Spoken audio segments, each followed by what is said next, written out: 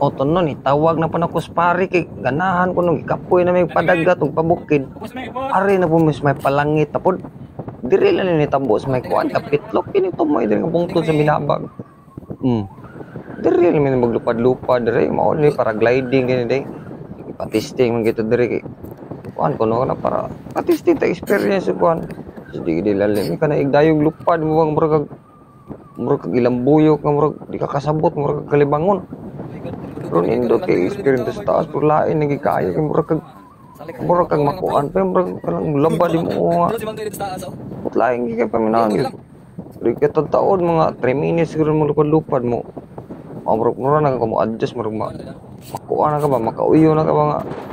Induta di sa feeling sa taas maglupad-lupad eh.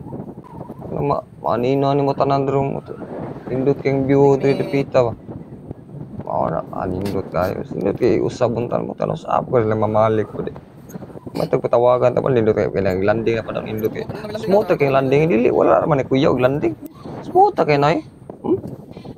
dili ka makuya ning landing kay wala naman mura ka landing sa mo hmm. Ah kayo